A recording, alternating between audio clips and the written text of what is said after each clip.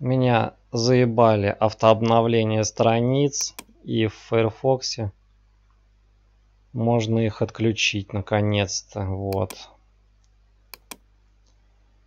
Два параметра изменяете. Всем пока.